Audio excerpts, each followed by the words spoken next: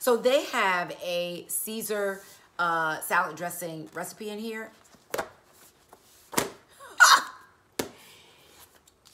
It is one of the best things that I have ever tasted when it comes to salad dressings.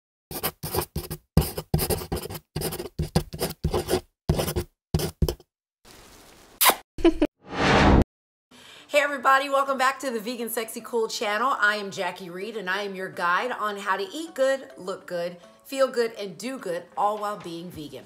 Today's video is all about my 12 months to vegan challenge and what we are doing for the month of April. Now, if you do not know anything about the 12 months to vegan challenge, don't worry.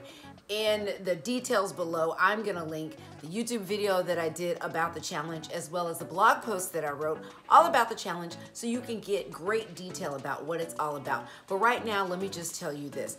My 12 months to vegan challenge is one of the easiest ways to learn how to eat vegan. Typically when folks go vegan, they do what I did and they just go all in at once. You just give up everything. That's hard. But you don't have to do it that way. With the 12 Months to Vegan Challenge, month by month, you're taking certain items in your kitchen and switching them out for vegan things. So butter for the month of January. All we did was switch out the dairy butter in your refrigerator in the kitchen for vegan butter. How easy is that? So month by month, we're doing different items and then it gets more challenging as we go along. Like eventually we'll do cheese for the entire month. That's a big one for everybody. But then we'll also do chicken for the entire month. And then as we get towards the end of the year, right? For October, for example, the entire month we will focus on eating vegan for breakfast. November, it is eating vegan for lunch. And in December, it is eating vegan for dinner. And then the big challenge comes. In January of 2023, every January is known as Veganuary. Together, we will eat vegan for the entire month of January. Everything for breakfast, lunch, and dinner. But by then, you'll know what you're doing. Your brain will have clicked on how to eat vegan. You'll know your favorite things to eat vegan with various items that you've tried out over the year. So it will be so easy come January. You will know your way around the grocery store and you will know your way around the kitchen when it comes to eating vegan. All right, so that's the 12 months to vegan challenge. But as I said, you can read more in the links that I have uh, that I have provided for you. Now, let's talk about April. So for the month of April, we're talking about eggs, mayonnaise, sour cream, and salad dressing. How easy is that? You're not gonna have a tough time finding your favorite vegan versions of these items by the end of this month, and I'm gonna share my favorites with you throughout this video. So let's start with eggs. And if you are like me, I mean, I was a huge egg lover. So I thought it was gonna be really hard to find substitutes for that, but it is not. So I'm gonna share some of my favorites with you. First and foremost is something new on the market called Just Egg. So Just Egg is one of the most important things in my refrigerator when it comes to breakfast items. Although you can use it for other things aside from breakfast items. But this stuff is just liquid gold. I have about three bottles in my refrigerator and it is in your refrigerated section in the grocery store near the eggs. And it is just like a bottle of, you know, if you cracked up a bunch of a bunch of eggs and, and beat them in a bowl and then poured them into this, that's what this it looks like it's the consistency of that and when you pour it into a pan to scramble it or cook it however you want, it behaves. The consistency is just like an egg. You know how when you scramble eggs in a pan and, you know, as they cook, you just kind of push them with a fork or a spatula, you know, so the so the runny part can get underneath and cook and so you push the part that's cooked already until it's all cooked and scrambled. This cooks just like that. It cooks just like that. So when I make a, you know, when I use my Just Egg and I'm making scrambled eggs, I'll chop up my garlic, my onions, my green pepper, mushrooms, whatever you want to put in there. A little olive oil in the pan first. Put those vegetables and items in there. You know, let those things cook up a little bit pour the just egg in, depending on if you're cooking for yourself or others, pour it in there and just start to scramble it up. You can also use this to make omelets, frittatas, quiches, so many other things. It cooks so well. I love just egg. Now, You might be wondering, is this made out of soy? No, it is not. It is made out of something, a legume called the mung bean, which is really good for you. So there's, it's packed with protein, no cholesterol, so it's healthy for you. Yes, it's processed, but it is a great egg substitute. It's really good for you. And what I love about this company, on top of all the things that I just talked about, is that they are very environmentally friendly. Um, and so when you use a product like Just Egg instead of regular eggs, right, you're cutting down on factory farming. So there aren't, you know, fields of chicken or warehouses full of chickens, you know, in that whole factory farming thing. They're not taking up feed, they're not taking up water. It takes a lot of land and water to raise chickens, you know, for eggs and for chicken dishes. So you're really helping out the environment with a product like Just Egg, and you're to get the flavor um, of those scrambled eggs and egg product, you know, egg items that you like. So it really is a great thing. So go to their website, or I'm to link it down below so you can read more about how they're helping the environment um, and just different recipes that you can use Just Egg for. Now, full disclosure, I do love Just Egg, but I do not work for them. I have done some work for them, but they are not sponsoring this video. I just love the product. I really, really do. I really love it. So if you're looking for something that is really close to, you know, an egg, egg yolk, then this is the way to go. Now, there's some other things out there. I have not tried them as far as egg substitutes, products that are made specifically to substitute eggs, like a Just Egg. But there are some others out there. I encourage you to try them and see what you like. But my favorite is Just Egg. You know what a lot of people will use, and you'll see this at a lot of restaurants, particularly vegan restaurants. They'll do a tofu scramble instead of an egg scramble, right? And what they do is they'll take some tofu and break it down into crumbs, and then they'll add, it's the spices that they add that really gives it that yellow flavor, like, or, or I'm sorry, yellow flavor, yellow color, uh, like nutritional yeast, paprika, cumin, and some other things that you add in there. And then I think a lot of people, not all, will add black salt, which you might think right off the bat, off the bat, well, that makes it taste like salt. No, black salt has this eggy taste to it. So a lot of people will add that to something like a tofu scramble to give it an eggy taste. Uh, I've had tofu scrambles. People will add all kinds of vegetables in there. They'll add vegan cheese, and it really is delicious if it is cooked right. I prefer just egg. I'm not crazy about a tofu scramble. I don't love it. Um, it, it's just not my jam. But I have had it before and it is, it's good, but it ain't my thing. But you might like it and a lot of people do. It is a very popular item on a lot of breakfast menus and it's really easy to make. It's really inexpensive to make. You know, people always think that, you know, oh, vegan food is so expensive. Well, listen, if you want to make something that's inexpensive and you want to try, you know, just a, a, vegan version of eggs this month, give the tofu scramble a try. I think you, I, I'm curious to see if you like it and let me know down in the comments below.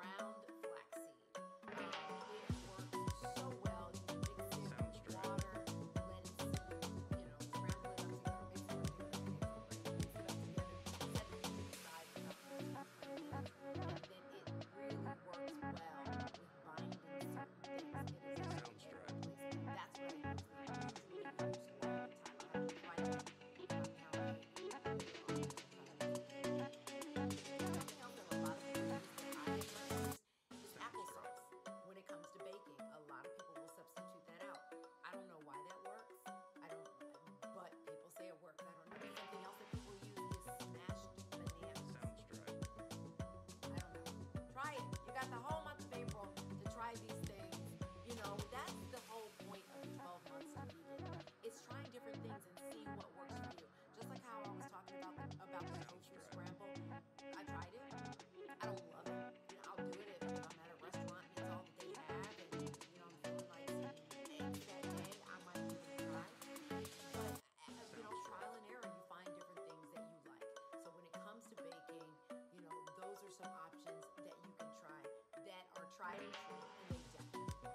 So let's move on to mayonnaise. Let me tell you, you should already be doing this one. It is just so easy. They have figured it out. The folks who make mayonnaise or make vegan mayonnaise, it tastes just like dairy mayonnaise. It just does. It just makes no sense to do this one for this month and beyond. Just switch it out. Just switch it out. It just, it just it's so it tastes like dairy mayonnaise. So, let me tell you about a few of my favorites. I use Follow Your Heart. I can't talk. I use Follow Your Heart um, a lot of the time because it's in most grocery stores. But I also like Sir Kensington. It is actually one of my favorites. They make a regular vegan mayo and they also make one with avocado oil, which is my absolute favorite mayonnaise on the planet. This mayonnaise, this vegan mayonnaise is so delicious. Hunt it down, find it. It's usually at Whole Foods. Sometimes it might be at Trader Joe's. I'm not a Trader Joe's girl yet. I really got to give it a try, but I'm not there yet. Um, but Sir Kensington. But make sure you read the label because that vegan uh, is written on there like a whisper. It's just vegan. And I have picked up regular mayonnaise at least twice thinking I was getting vegan mayonnaise. That avocado um, mayo, they make it in a regular version and a vegan version. You want to get the vegan version. Uh, but the way that they label them both is so similar, you can easily grab the wrong one.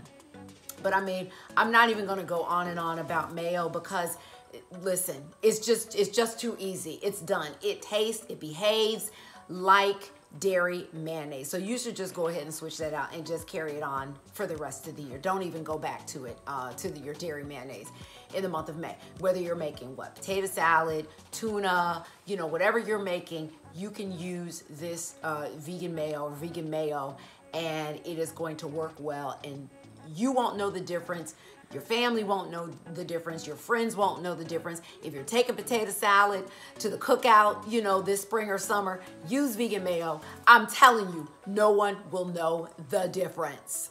Now, I also wanted to mention that Sir Kensington also has some special versions of mayonnaise that you might want to try. So they have a Chipotle one, I have not tried it, but I hear it's really good. And they also have a special sauce one, which I think probably mimics what goes on a Big Mac. You know, that spe special sauce?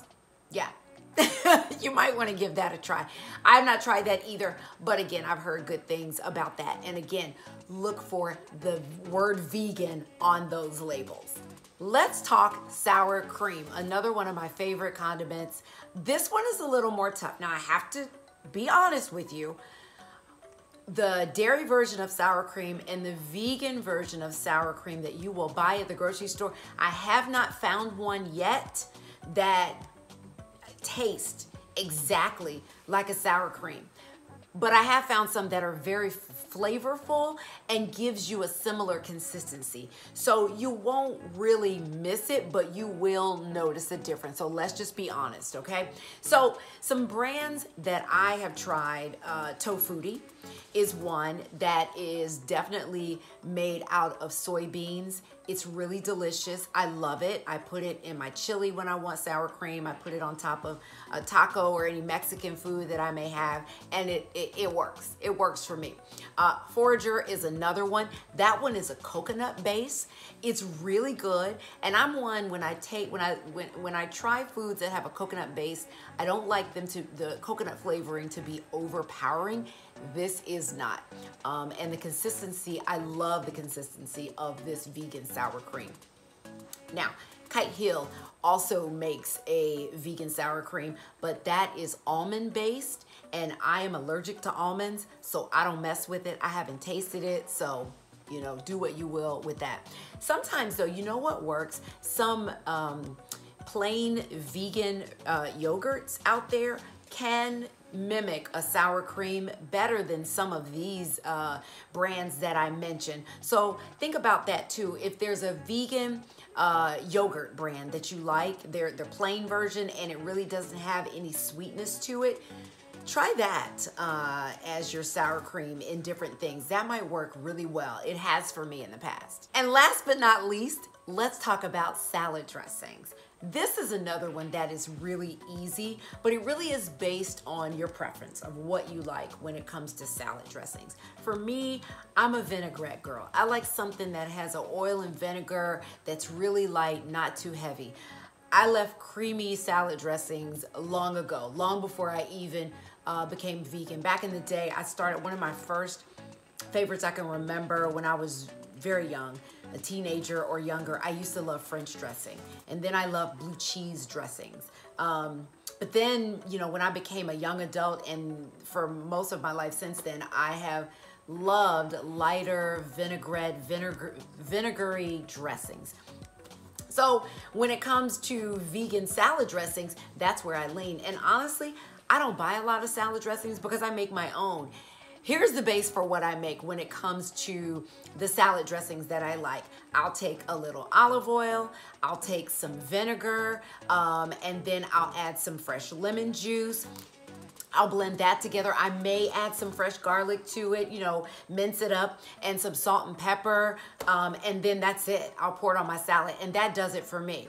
If I want a creamy version of that dressing, then I'll mash up an avocado and, and mix it up in there. Or I'll take a little vegan yogurt and mix it up there and you've got your creamy dressing. I mean, you can really start with that as a salad dressing base and go in so many different directions depending on what you add to it. But I have to tell you, I one of my absolute favorite vegan salad dressing recipes comes from this book, um, which is Vegan for Everybody from America's Test Kitchen. Let me tell you, they have, so they have this kale salad, uh, kale Caesar salad recipe in here. And I made the salad and I was like, you know, and even the croutons are vegan in here, FYI. This is a great book to get um, a, a, cookbook to get if you're just starting out vegan or if you've been vegan for a long time. Great recipes. So they have a Caesar uh, salad dressing recipe in here.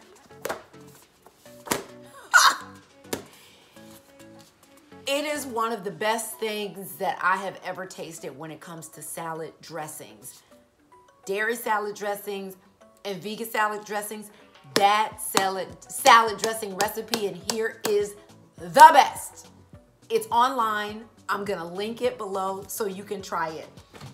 It's a lot of ingredients, not too many, but you know, you know, there's capers, there's Dijon mustard, there's this, there's that. It is so worth it. It is so delicious. I, I can't. It blows my mind how delicious this is. I will make it and just put it in the fridge just at the off chance that I want a salad. It is so good. So I will link that for you. You're welcome. All right, so there it is for the month of April, what we are switching out when it comes to the 12 months to vegan challenge. And I hope if you are starting this for the first time that you don't feel overwhelmed. This is really easy. You just go to the grocery store, take that list um, that I gave you of items, look for vegan versions of those things. It's just four things. Switch it out and give it a try for the month of April. And if you want to try recipes online, you can definitely find, you know, Google it and see, you know, Google vegan salad dressings, dressings. Google vegan sour cream and you will find various recipes on how to make it on your own. It'll definitely save you some money and it'll take you some time, but it might be worth it. It's definitely worth it to try different things. And go to a vegan restaurant and try their salad dressings. Try their sour, uh, sour cream, you know, try their egg dishes, you know, try their mayonnaise, try different things, uh, you know, just mix it up this month and try many different things so you can figure out what you like. That's what this challenge is all about. It's about challenging yourself to find what you like when it comes to eating vegan. Now, you can continue doing these things, the mayo, the eggs, the sour cream, the salad dressing on into the next month, or you can just do it this month. And then when it comes to when we get into May go back to eating your dairy versions of these things but pick up what we're switching out for the month of May. That's how this works. I hope that as we're going along if you've been doing this since January that you will continue the things that you've switched out. Just continue with the mayo though. I mean just come on. Just keep doing the mayo. Don't don't go back. That's just too easy. It's just too easy. But hopefully this is going to help you going to help your brain click when it comes to how to eat vegan and then you're going you're also learning what you like that's vegan. That's the beauty of this challenge. So hopefully you know you're on board and you're loving this all right, well, that does it for this video, and hopefully you got all the tools you needed to have a successful month of April when it comes to my 12 months to vegan challenge. All right, let me get some plugs in. If you like this video, please hit the like button and subscribe. Leave a comment so I can know what you liked about this video and if you want to see more. If you want to dig deeper and have some support through this vegan journey, then I have a Facebook group called the 12 Months to Vegan Squad. Find us over on Facebook. We're sharing recipes and giving encouragement. It's a great place to learn how to eat vegan. So come on over there and join us on that Facebook group. Please follow me on social media at Vegan Sexy Cool or at Jacque Reid, and that's J A C Q U E R E I D. You can see how to spell it uh, down in the comments below, or not in the comments, just in the description below. I'm all over the place. but hopefully you love this video, and I hope to see you next time, everybody. Bye.